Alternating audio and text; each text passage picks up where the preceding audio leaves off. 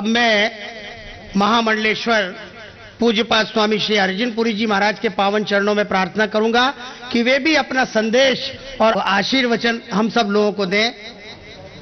पूज्य स्वामी जी। हम सबके लिए बड़े गौरव की बात है। महाराज श्री के उदार चरित्रों का गायन सभी महापुरुषों ने किया है।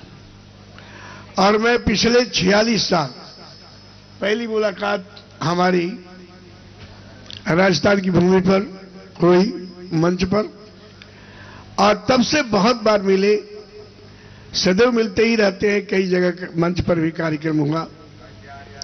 देश विदेश में महाराज श्री ने जो पताका फहराई है, हमने देशों में, विदेशों में भी देखा। संतों का अवतरण, भारतीय संस्कृति की पुनर्जागरण और उद्धार के लिए होता है, जैसे कि भगवान का होता है।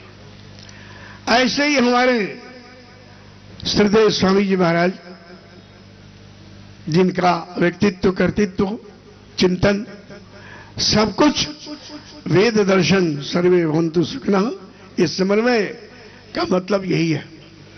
उसको लेकर के महाराज श्री ने सनातन जगत का, मानव जगत का बड़ा प्रशस्त मार्गदर्शन किया है। महापुरुषों ने अपने उद्गार रखे हमारे जूना पीठाधीश्वर महाराज की प्रति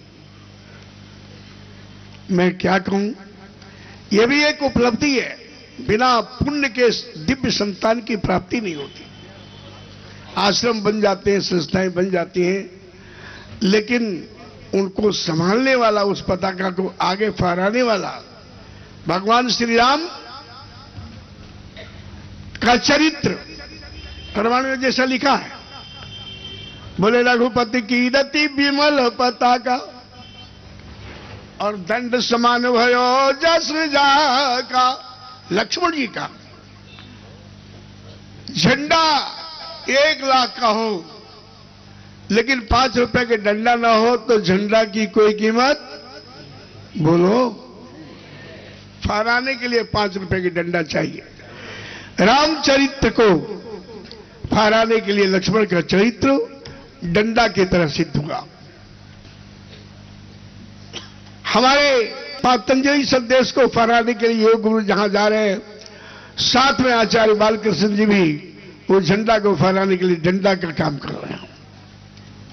इसी तरह से हमारे महाराज श्री संन्यास जगत के गौरव, सनातन जगत के गौरव, हरिद्वार की एक बड़ी भारी उपलब्धि महाराज सत्यमित्रानंद गिरी जी महाराज के योग्य शिष्य की प्राप्ति होती है, हुई है। हमारे जूना अखाड़े का, संन्यास जगत का, भारत माता मंदिर का, समन्वय ट्रस्ट का, ये सौभाग्य है। इस उपलब्धि पर मैं दोनों गुरु शिष्य को बधाई देता हूँ। और एक से एक यज्ञ किए हैं, लेकिन हम फिर भी एक शब्द कहूँगा कि पिछले बार सीता माता का यज्ञ, ये पहली बार सुना। और गंगा माता का यज्ञ करके बड़ा लोगों ने इस पर संदेश दिया है। हमें संदेश दिया है और ये बड़ी भारी कृतज्ञता है। एक नया मार्गदर्शन हम सबको मिला है और गंगा जी की धारा को, गंगा तो स्वच्छ थी, स्वच्छ है, स्वच्छ रहेगी। धारा में जो मल आ गया है, उसको निर्मल करने के लिए हम लोग सतत प्रयत्न रहे। सरकार का ही काम नहीं जन जन का ही काम है, क्या है, कैसे है, आने वाले महापुरुषों के द्वारा भी आप सुनेंगे। पुनः इस आयोजन के लिए मैं आपको बधाई देता हूँ और आप सब भक्तों का हरिद्वार के पावन नगरी में अभिनंदन, स्वागत। हमारे बीच में पूज्यपाद स्वामी नारायण संप्रदाय के पूज्य स्वामी जी महाराज श्री माधव प्रियदास जी महाराज उपस्थित हैं। मैं उनके पावन चरणों में प्रार्थना करूँगा कि वे भी इस अवसर पर अपना संदेश हम सब लोगों को दें। पूज्य स्वामी जी महाराज। जिनका जीवन माँ भगवती भागीरथी जैसा निर्मल है, ऐसे गुरुदेव के चरणों में हमारे हज़ार हज़ार वंदन है। स्वामी जी महाराज स्वयं समन्वय के स्वरूप है। भारतवर्ष के ऋषि जिस परब्रह्म को मानते हैं, वो भी समन्वय स्वरूप है। माँ भारती भी समन्वय स्वरूप है और पूज्यपाद गुरुदेव भी समन्वय की मूर्ति है। ये पूरा मंच, समन्वय का मंच हमें दर्शन दे रहा है। और हमारे पूज्यपाद अवधेशानंद जी महाराज के बारे में मैं क्या कहूँ? भारतवर्ष के सारे सन्यासी उनको आदर्श मानते हैं।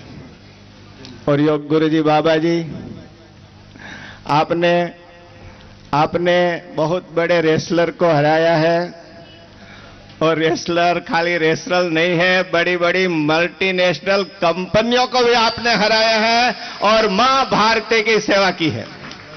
समन्वय अलंकरण प्राप्त करने वाले बालकृष्ण दास जी महाराज को भी मेरा प्रणाम। गुरुदेव का स्वास्थ्य अच्छा रहे और हमें मार्गदर्शन सदैव करते रहे। इतनी प्रार्थना के साथ मेरी वाणी को विराम देता हूँ। अस्तु, धन्यवाद। अब हम जिस महनीय क्षण की प्रतीक्षा कर रहे थे, समन्वय सेवा ट्रस्ट के द्वारा, भारत माता मंदिर के द्वारा, पूज महाराज श्री के द्वारा सृजित समन्वय अलंकरण, हम इसको समन्वय पुरस्कार भी बोलते हैं, समन्वय सम्मान भी बोलते हैं, पर समन्वय अलंकरण का ये कार्यक्रम है। मैं इसमें बहुत विलंबना लगाते हुए हमारे बीच में आचार्य श्री बालकृष्ण जी उपस्थित हैं। आप कुलपति पतंजलि विश्वविद्यालय हरिद्वार के हैं। मैं आचार्य श्री कृष्णकांत चतुर्वेदी जी से प्रार्थना करूँगा कि आचार्य जी का परिचय देते हुए और उनके अभिनंदन में जो कुछ शब्द हम लोगों ने संजोए हैं, उसका भी वो वाचन करेंगे आचार्य चतुर्वेदी जी। आज जिस व्यक्तित्व का हम अभिनंदन करने, अलंकरण करने के लिए उपस्थित हुए हैं वह एक लंबी परंपरा की अत्यंत उज्जवल कड़ी है। पूज्यपाद हमारे सदगुरुदेव ने ये अनेक प्रकार के मानक स्थापित किए जिनकी चर्चा हो रही है। प्रथम बार उसी तरह से उन्होंने समन्वय, अलंकरण, समन्वय पुरस्कार के रूप में लोगों को ये बताने के लिए कि प्रत्येक क्षेत्र में सामान्य जीवन से असामान्य बनने की, वामन से विराट बनने की सामर्थ्य जो मनुष्य के अंदर निहित है, उसे प्रस्तुत करने के लिए उन्होंने इस प्रकार के पुरस्कार और अलंकरण का कार्य संपन्न किया। 45 वर्ष के वय में हमारे श्री आचार्य बालकृष्ण जी ने जो कार्य किया है, वह असाधारण है। मेक इन इंडिया के रूप में भी यदि विचार करें तो भी असाधारण है। आज हमारे देश के संपन्नतम व्यक्तियों में, वे पच्चीसवें व्यक्ति हैं। वे सारे संसार में भारतवर्ष के असाधारण व्यक्ति हैं। इतने बड़े व्यक्ति होने पर इतने बड़े काम करने पर भी किस तरह से बड़े व्यक्ति को रहना चाहिए? आप उनकी वेशभूषा, उनका व्यवहार और उनका आचरण, उनका समर्पण देख करके अनुमान कर सकते हैं। वे अनेक संस्थाओं के अध्यक्ष हैं, वे कुलपति हैं पतंजलि विश्वविद्यालय के, और उसके अलावा अनेक संस्थाओं का कार्य उनके द्वारा संपन्न हो रहा है। महासचिव पतंजलि योग पीठ, महासचिव पतंजलि रिसर्च फाउंडेशन, महासचिव पतंजल पतंजलि ग्रामोद्योग ट्रस्ट ग्रामोद्योग के माध्यम से आज सारे संसार में भारतवर्ष पुनः जागृत हो गया है। अध्यक्ष एवं प्रबंध निदेशक पतंजलि आयुर्वेद हरिद्वार। इसी तरह से केवल इतना ही नहीं है कि क्रिया, उसके साथ साथ बौद्धिक चेतना की अभिव्यक्ति भी उनके द्वारा अनेक रूपों में हुई है। अनेक ग्रंथों के सृजन के माध्यम से आयुर्वेद सिद्धांत रहस्य, आयुर्वेद जड़ी बूटी रहस्य, भोजन कौतूहलम, आयुर्वेद महोदधि अजीर्णामृत मंजरी विचार क्रांति, ये नेपाली ग्रंथ है। इस प्रकार हम ये देखते हैं कि एक व्यक्ति के अंदर कितनी असाधारण क्षमता छिपी है, लेकिन उसके जागरण करने के लिए, उसके भीतर के स्वत्व में ही कोई ना कोई आत्मीय चेतना जागनी चाहिए और उस चेतना की परख करने वाला कोई व्यक्ति होना चाहिए। पूज्यपात स्वामी सत्यमित्रानंद गिरी जी महाराज ने वह कार्य संपन्न किया। अब मैं केवल वाचन के द्वारा ये अलंकरण का पाठ कर रहा हूँ और उसकी विधि आगे प्रारंभ होगी। समन्वय सेवा ट्रस्ट हरिद्वार। समन्वय अलंकरण, आयुर्वेद के प्रवर्तक, ऋषि धन्वंतरी चरक सुश्रुत आदि के तत्वज्ञ, मनीषी प्रातिभ प्रतिनिधि एवं विश्व विश्रित महनीय व्यक्तित्व के धनी, स्वदेश और स्वदेशी के प्रबल समर्थक, संरक्षक, प्रयोक्ता, भारतीय वनस्पति विज्ञान के अधुनातन प्रामाणिक अन्वेषक, पतंजलि विश्वविद्यालय के कुलपति तथा अनेक तत्सदृश संस्थानों के महत्वपूर्ण एवं वरिष्ठ दायित्वों के सफल निर्वाहक, भारतवर्ष के महामहिम राष्ट्रपति, नेपाल के माननीय प्रधानमंत्री एवं विभिन्न संस्थाओं के प्रमुखों द्वारा गौरवपूर्ण सम्मानों से सुशोभित आयुर्वेद सिद्धांत रहस्य तथा अनेक विध उत्कृष्ट ग्रंथों के प्रणेता पतंजलि योग साधना के दीप स्तंभ आयुर्वेद एवं वनौषधि में सन्निहित गुणों को जन सामान्य में प्रसारित करने हेतु अहरनिश प्रयत्नशील सम्माननीय आचार्य श्री बालकृष्ण जी को समन्वय सेवा ट्रस्ट हरिद्वार उत्तराखंड समन्वय अलंकरण प्रदान करते हुए गौरव का अनुभव करता है स्वामी सत्यमित्रानंद गिरी। शनिवार, फाल्गुन शुक्ल अष्टमी संबत दो हज़ार तिहत्तर, तदनुसार दिनांक 4 मार्च 2017 आचार्य बालकृष्ण जी का हार्दिक अभिनंदन, हार्दिक वर्धापन मैं पूज्य आचार्य जी और स्वामी जी महाराज के चरणों में निवेदन करूँगा कि वह आचार्य श्री का सम्मान करेंगे, अलंकरण प्रदान करेंगे और समन्वय सेवा ट्रस्ट के ट्रस्टीगण पीछे पार्श्व भाग में आ जाए। पूज्य स्वामी श्री रामदेव जी महाराज भी साथ में रहेंगे। समन्वय सेवा ट्रस्ट के सारे ट्रस्टी और इस अवसर पर सहयोग करेंगे। मैं सभी को आमंत्रित करता हूँ।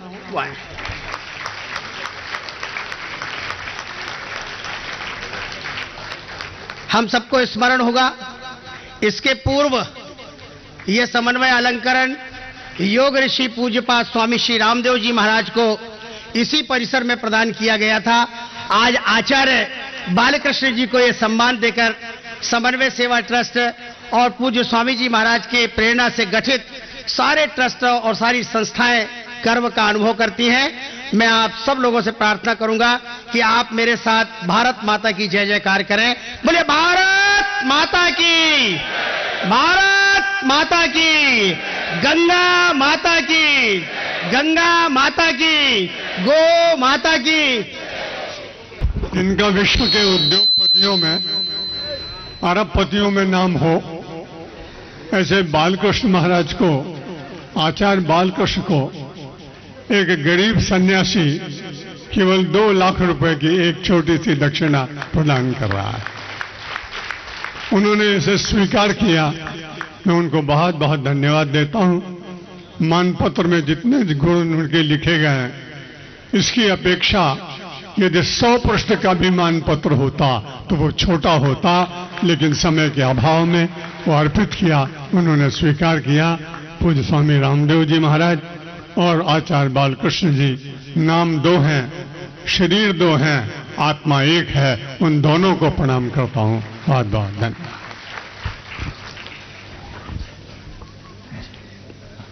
अब मैं इस अलंकरण कार्यक्रम के पश्चात मैं पूज्यपात ब्रह्मचारी श्री ब्रह्म स्वरूप जी महाराज से निवेदन करूँगा कि वे इस अवसर पर अपना संदेश दें। एक छोटा सन्यासी अपने आप को समझ करके इस दुनिया और हिंदुस्तान की सोच को लेकर के किस तरह से बाहर आया है, ये आपके सामने एक जीता जागता उदाहरण है। महाराज श्री ने पूरी दुनिया में सनातन धर्म की पताका, सनातन धर्म का प्रचार किया है। हिंदुस्तान की पहचान आपने कराई है, लेकिन आपने पिचासी साल की उम्र में एक झोपड़ी में बैठ करके एक सन्यासी के रूप में, जो आपने तप और तपस्या की है वो सोच आपकी बाहर आई है। ये यज्ञ केवल यज्ञ नहीं है। ये महाराज श्री के अंदर मन की एक सोच है कि ये सोच को बाहर लेकर के आए कि मेरा राष्ट्र कैसा होना चाहिए, मेरा समाज कैसा होना चाहिए। इन राष्ट्र को यज्ञ की एक पहचान दी है, राष्ट्र को यज्ञ माना है। मेरे राष्ट्र में रहने वाला लोग खुश रहना चाहिए, मेरा राष्ट्र प्रसन्न और खुशहाल होना चाहिए। मेरे देश के बच्चों में संस्कार होने चाहिए। जिस तरह से गंगा बहती है, निर्मल गंगा बहती है, मेरे देश का युवा भी इसी तरह से देश में बहना चाहिए। जो हमारे राष्ट्र की पूरी दुनिया में एक पहचान है, हिंदुस्तान की एक पहचान है, संस्कृत, संस्कृति और संस्कार की ये धरती है, इसको एक सन्यासी अपनी सोच को लेकर के बाहर आया। बहुत से संतों ने बात कही है। मैं भी एक बात कहना चाहता हूँ। गंगा की निर्मल गंगा की, एक स्वामी जी कह रहे थे, माँ की गोद निर्मल होती है बात सही है। बच्चा कोई माँ की गोद को गंदा करता है तो माँ बच्चे को बाहर नहीं फेंकती उसको साफ़ करती है और प्रसन्न होती है। इसी तरह गंगा भी है। लेकिन हमारा कर्तव्य क्या है? उसको लंबा ना खींचते हुए बात कहना चाहता हूँ। हमारा कर्तव्य क्या है? कि माँ की गोद, माँ का किनारा हमें साफ़ रखना चाहिए। आज गंगा की क्या हालत है? इसके बारे में महाराज श्री ने सोचा ही सोचा है। और उसका एक उदाहरण दिया है। यज्ञ करने से जिस तरह से वातावरण शुद्ध होता है, अगर हम पहल करें, गंगा को मैला नहीं करना है तो किसी की कोई ताकत नहीं गंगा को मैला कर दे। पहले अपनी सोच साफ़ होनी चाहिए। जल भी साफ़ होना चाहिए और अपना मन भी साफ़ होना चाहिए।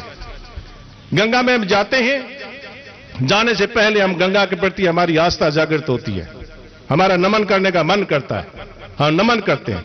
लेकिन जैसे ही गंगा में घुसते हैं उसको मैला करने की कोशिश करते वो नहीं होना चाहिए। अपना मन भी और गंगा का जल भी हमें साफ़ रखना चाहिए। महाराज, श्री आपने ये चीज़ जो दी है, गंगा यज्ञ करा करके, ये चीज़ भले ही छोटा लगता हो गंगा यज्ञ, लेकिन एक इसकी विशालता को, जिस तरह से हम आसमान को नहीं नाप सकते, इसी तरह इस यज्ञ की भावना को भी नहीं नाप सकते। आपने देश को सोच दी है, देश को सोच दी है कि हमारा देश, जहाँ भगवान विष्णु का देश है, राम का देश है, कृष्ण का देश है, और यज्ञ भी भगवान विष्णु का रूप है, हमें इनमें आस्था रखनी चाहिए, ये करनी चाहिए। महाराज, सरी, एक चीज़ आपने, अपने शिष्य को के साथ साथ आपने जहाँ यज्ञ किया है, उसके साथ साथ आपने एक और यज्ञ किया है। मैं अपने पूज्यपाद गुरुदेव जी का, मेरा, मेरे गुरु जी का जब शरीर शांत हुआ तो मैंने ये पूछा था कि मैं समाज की कोई बात, कोई पीड़ा लेकर के जाऊँ तो किस संत के पास जाऊँ? तो महाराज श्री ने बिल्कुल भरे मन से ये बात कही थी कि पूज्य पाठ सत्यमित्रानंद गिरी जी महाराज के पास जाऊँ, जब भी कोई समस्या है। मैं मानता हूँ आपको, मेरे आदर्श हैं, लेकिन महाराज जी, यज्ञ के साथ साथ आपने एक और इस देश के ऊपर एहसान किया है। आपने एक और यज्ञ किया है। वो यज्ञ किया है भारतीय संस्कृति के लिए। श्री अवधेशानंद जी को अपना शिष्य बना करके जो कई वर्षों तक इस देश में यज्ञ की यज्ञ की गंध, संस्कारों की गंध आपके माध्यम से इस देश और राष्ट्र को मिलेगी। आपके श्री चरणों में, मैं प्रणाम करते हुए यही आशीर्वाद आप, हमें अपने लिए और इस राष्ट्र के लिए माँगता हूँ कि आपका, आप जैसा संत इस देश को हमेशा मिलता रहे। इन शब्दों के साथ मैं अपनी वाणी को विराम देता हूँ। धन्यवाद। और अब मैं भानुपुरा पीठाधीश्वर श्रीमद जगत गुरु शंकराचार्य पूज्य स्वामी श्री दिव्यानंद तीर्थ जी महाराज के पावन चरणों में निवेदन करूँगा कि इस अवसर पर वह हमें अपना संदेश दे। पूज्य स्वामी जी महाराज। स्वामी जी, हमारी पीठ के वरिष्ठाचार्य हैं। हमारे यहाँ कोई पूर्व नहीं होता। हमारे यहाँ कोई भूत नहीं होता। अभूतपूर्व होते हैं। स्वामी जी का जीवन ही अभूतपूर्व रहा है। केवल भारत में ही नहीं, विदेशों में भी जो इन्होंने कार्य किया, वो प्रशंसनीय नहीं, अनुकरणीय है। वैसे तो भानपुरा पीठ की भी परंपरा यही रही है, जीवित अवस्था में किसी न किसी को सौंप दो। स्वामी जी ने, स्वामी रामाश्रम जी को सौंपा था, उन्होंने मुझे सौंपा। वही परंपरा इन्होंने भारत माता मंदिर में भी स्थापित की है और अपने जीवन रहते हुए उन्होंने परम योग्य अवधेशानंद जी को अपना उत्तराधिकारी नियुक्त किया है। अवधेशानंद जी को मैं आज से नहीं, नब्बे से जानता हूँ और बड़े मधुर संबंध हमारे रहे।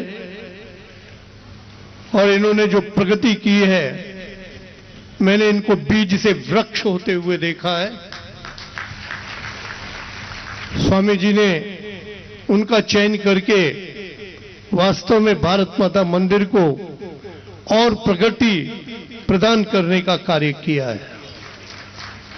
कल कल छल छल करती, क्या कहती गंगा धारा, युग युग से बहता आया, पुण्य प्रवाह हमारा।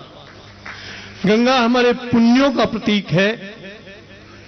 गंगा हमारी संस्कृति का प्रतीक है।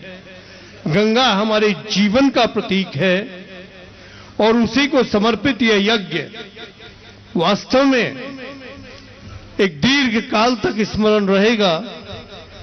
और जो गंगा के शुद्धिकरण की बात कही जा रही है, वो इस यज्ञ से प्रेरणा लेगा। मैं एक बात कहकर वाणी को विश्राम दूँगा। केवल इंडस्ट्रीज़ का जो पानी बह रहा है गंगा में, उसको यदि बंद कर दिया जाए तो गंगा पहले भी पवित्र थी, आज भी पवित्र है और पवित्र ही रहेगी। मैं एक बार पुनः स्वामी जी को प्रणाम करता हूँ, अवधेशानंद जी को आशीर्वाद प्रदान करता हूँ और यहाँ उपस्थित सभी महात्माओं को योग्य अभिवादन करते हुए वाणी को विश्राम देता हूँ।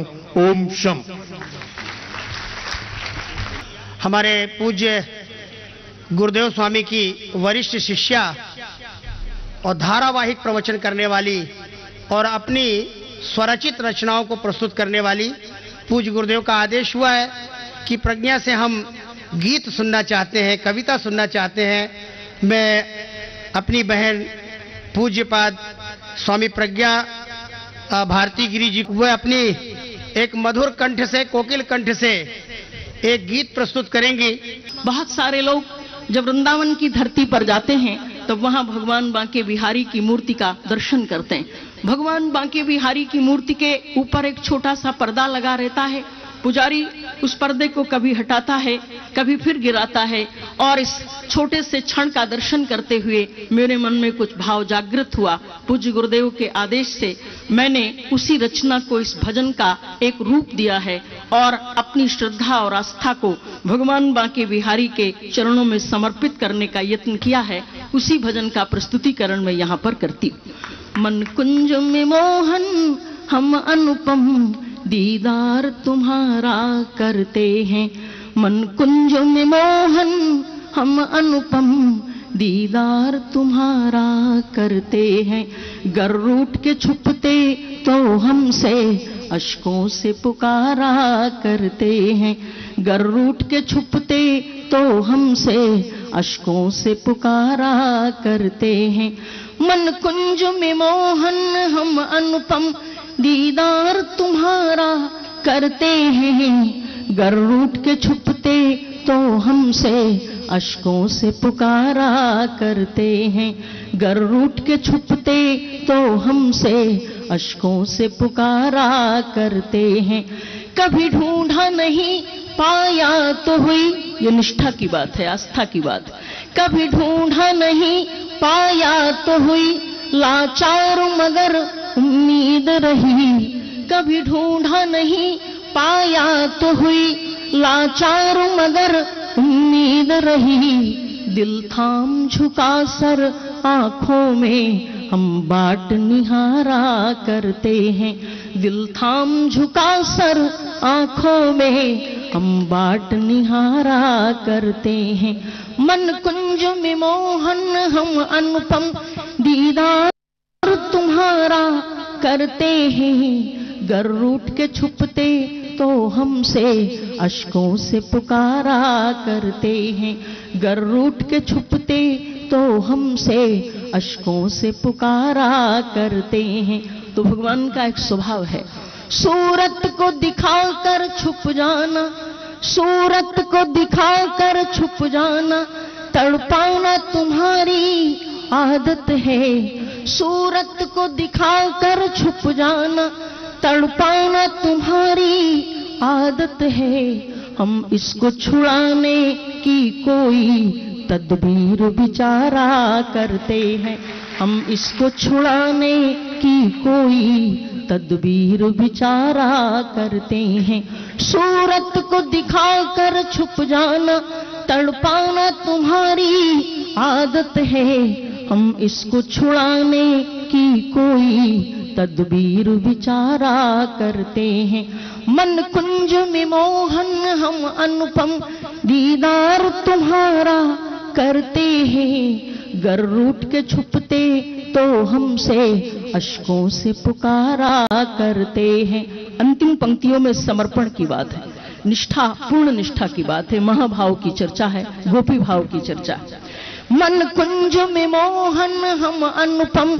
दीदार तुम्हारा करते हैं। गर रूट के छुपते तो हमसे अशकों से पुकारा करते हैं। तो विनय है। आ जाओ हृदय मंदिर में मेरे। आ जाओ हृदय मंदिर में मेरे। अलबेले नटवर सांवरिया।